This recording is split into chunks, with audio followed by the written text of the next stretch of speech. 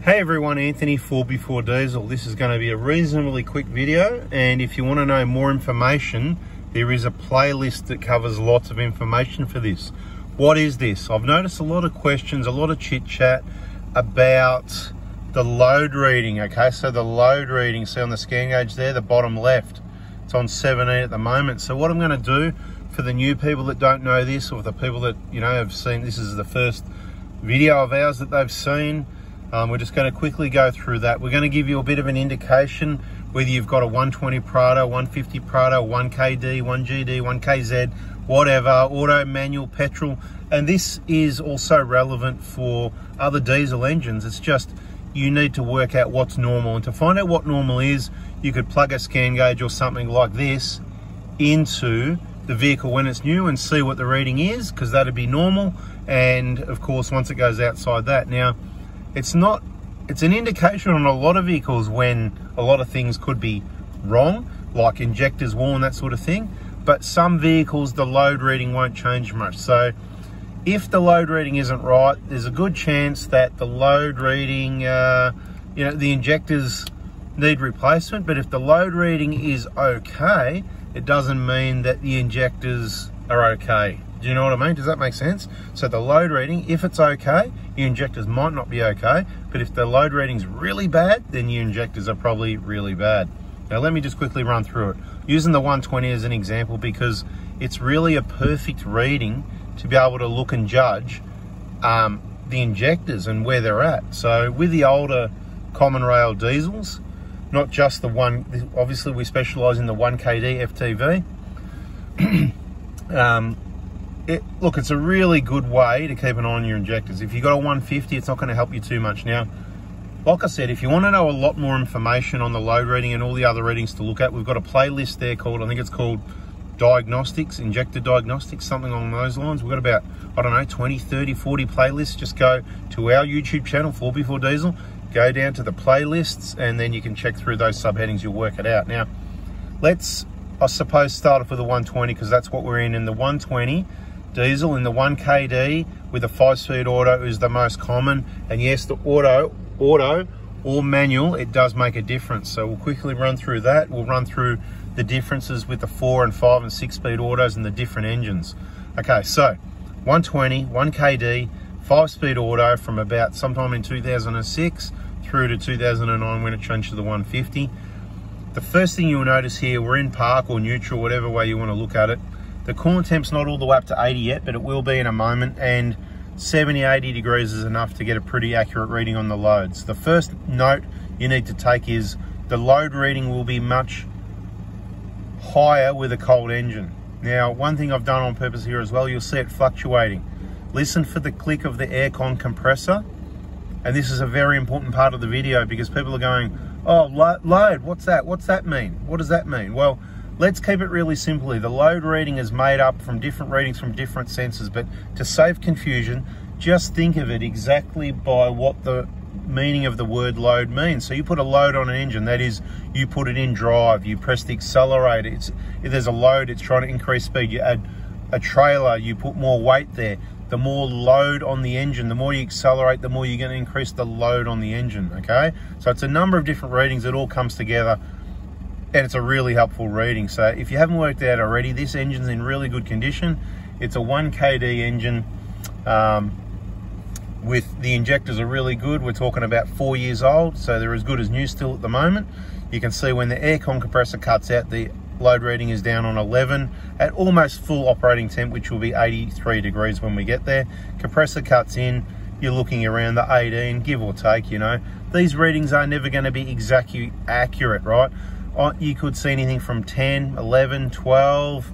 Some vehicles for odd reasons, some 120 Prados with five speed auto might just end up being 14 or 15 with new injectors. There's a few other factors at play that can vary that. You might say have one in 10 vehicles that have that slightly different reading. Now, let's just jump across to the manual and that covers the 121 KDs. Now the manual it's got less load because it hasn't got a torque converter bolted to the flywheel, so there's less weight there, therefore reducing the load number by about three units, two or three units roughly. I'm not going by the books here, I'm going by what I see on the ground, what I see with new engines, old engines, new injectors, old injectors, and a heap of experience, autos, manuals, the whole lot, right? So a, a brand new good set of injectors, if these are 11, then in a manual it's going to be around 8 or 9. It's going to drop down a little bit because the engine's still spinning the weight of the torque converter when the compressor's cut out. Compressor comes in, it's about to happen any second, there it is.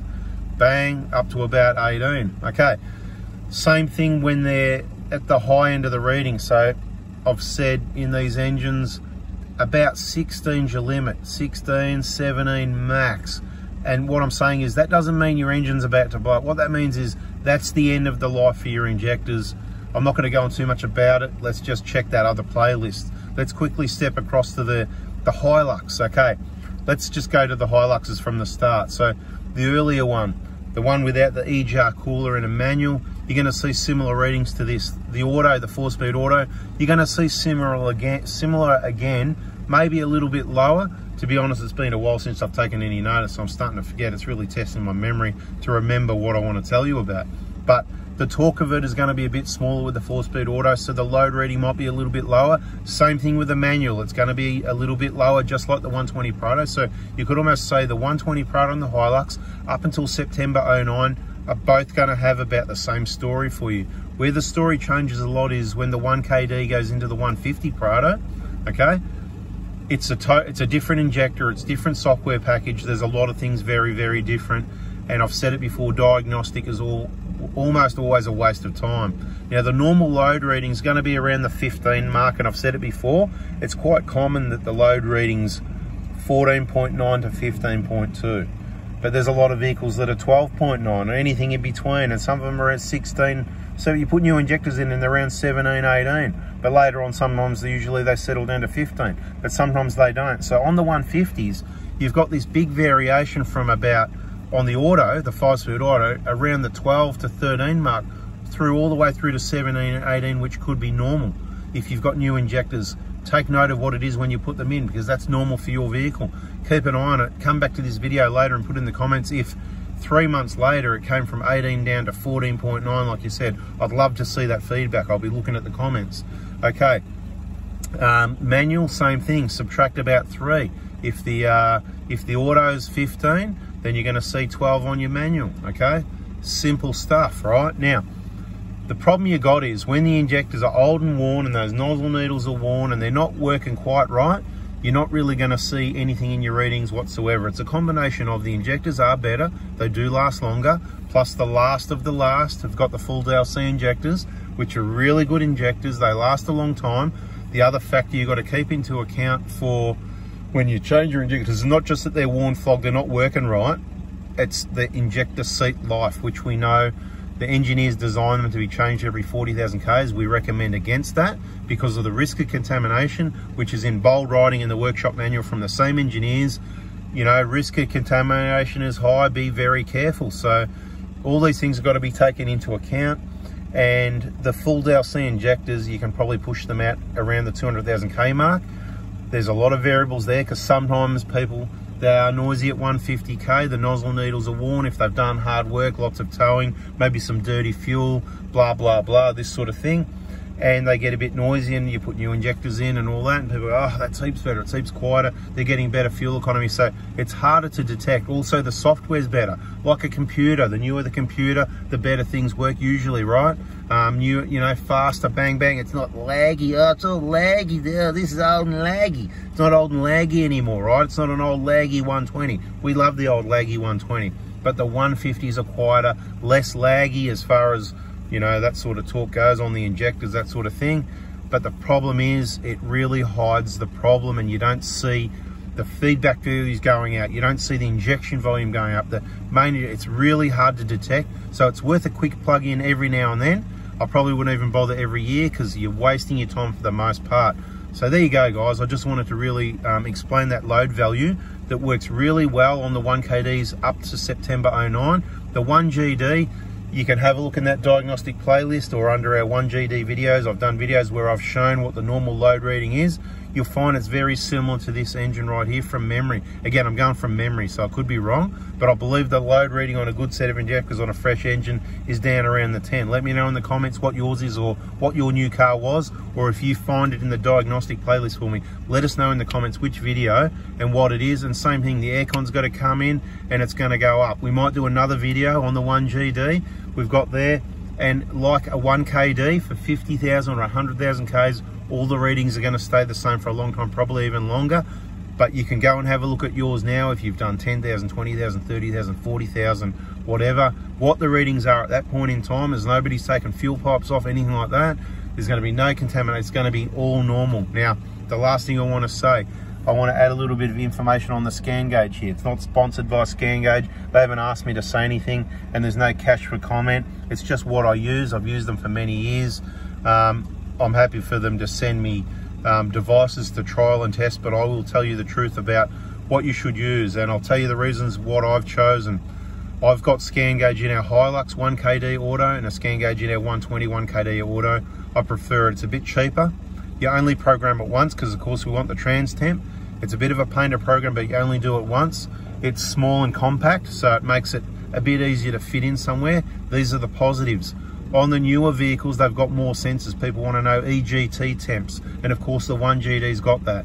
It's nice to have the bigger screen. It fits nine things per screen. You swipe across, you've got three screens. So you've got 27 readings. You've got heaps of sensors on that engine, heaps of technology, and heaps of possible problems. But if you've got one, that's what we've got on our 1GD. I really like it. I've got it mounted just up on top of the dash up here. I'm considering changing it over to the center of the dash here on the 1GD, but on the Hilux and the Pro, so 1KD, I would stick with this, but each to their own. Depends how much money you've got, depends if you've got a place to put it. You've also got to take into account, these can plug in at the back and the side.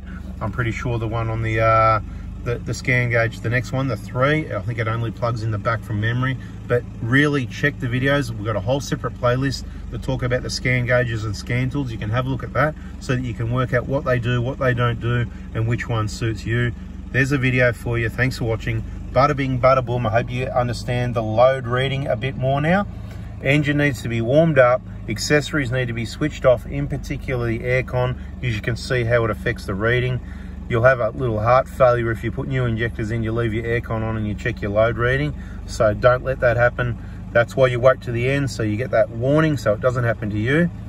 Hey everybody, if you learnt something or you liked the video, you know, hit the like button so it comes up in your feed. Might help you miss another, not miss another video.